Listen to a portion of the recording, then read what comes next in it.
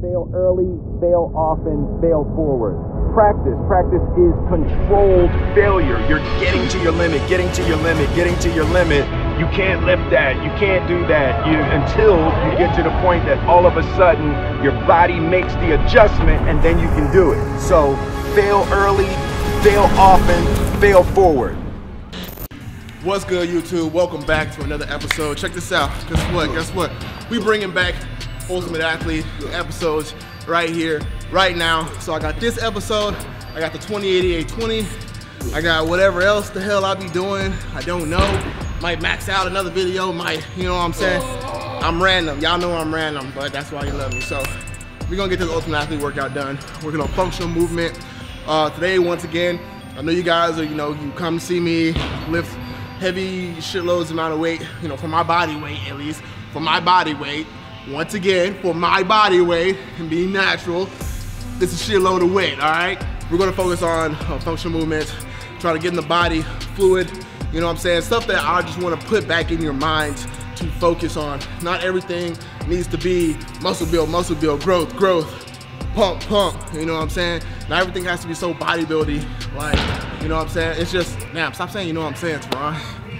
You know, it's just about being able to train for long periods of time, you know, throughout your, your livelihood, you know what I'm saying? So that is my, you know, my key goal in the long run. I mean, period, not in the long run, just period, for you in the long run, um, that I just want you to stay healthy and um, focus on the full aspect of fitness, not just, just doing one style of training. So let's get it. So everything we do right now for this startup is about three sets of each exercise, um, each leg, you know, doing the unilateral movements. So you're gonna get pretty primed and ready for some intense, not heavyweight intense stuff, but just some intense training as far as, you know, the functional movement stuff. So got single leg, six reps,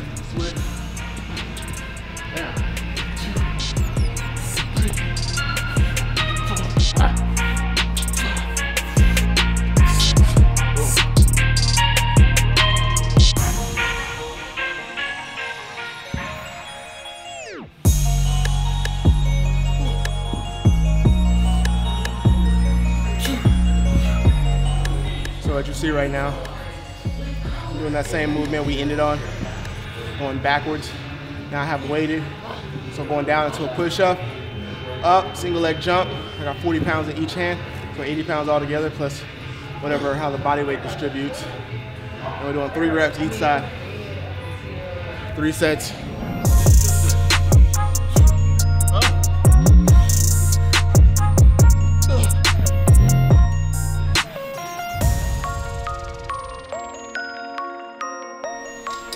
All right, so now what we're focusing on is extension of the hips with the sled. We're not pushing it like crazy. We're not going all out.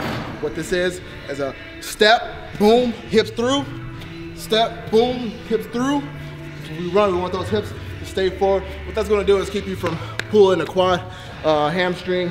When you're boom, boom, boom, boom. When you start going like this, right? When you start bending over, your hamstrings are, are starting to stretch more.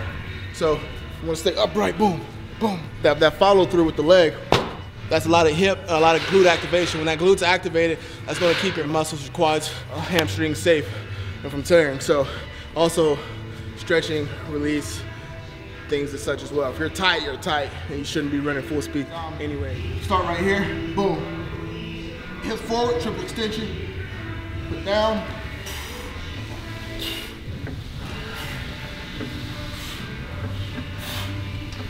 tight glute.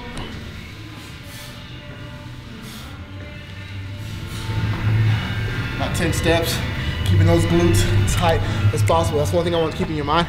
Keep those glutes contracted throughout the full motion. So boom, this one's down, that right glute's activated, that next leg goes down, boom, left leg, left glute activated, and you want that throughout the full motion. So like this,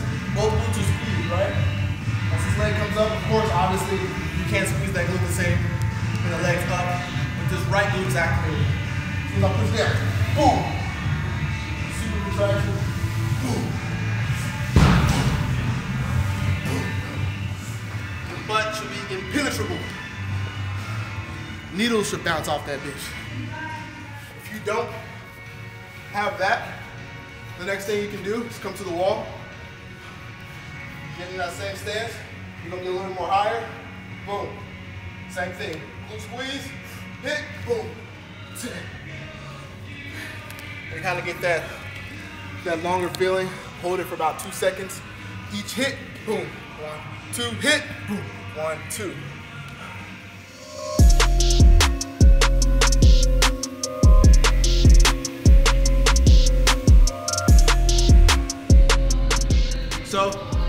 Thing I can focus on is doing things with body movement, such as handstand push-ups.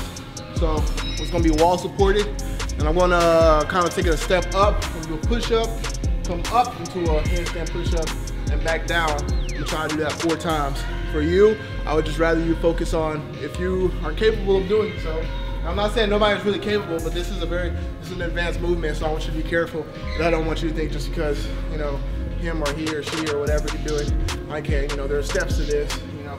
And um, I always say, is like, if you can body press, if you can uh, shoulder press your body weight, then, you know, on barbell, you're good. Even though this is different, but if you, could, if you could shoulder press your body weight, then I say you can give it a go.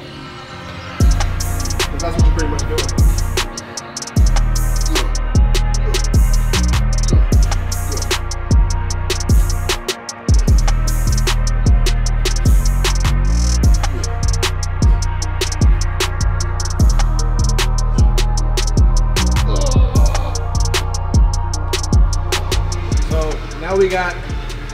Switching over to uh, upper body. Now we got some single arm unilateral bench press, which I love to do. Uh, I think it's a great strength movement. I think, you know, especially when it comes to building the core and like, not even like focusing on core, you know, doing like ab crunches or leg lifts. This just builds the core in a, in a secondary phase. So I'm gonna grab 105s, we're gonna do four sets of eight, single arm, and if you have shoulder issues, do it from the floor. You know, the floor keeps you from going all the way past a joint where you, can, you feel that stretch and it starts to pull on that shoulder. So get on the floor and get that perfect 90 degrees and press back up. Chest bar. We're gonna go rows, we're gonna flip it around. No rows for the same thing. Eight reps. Three sets.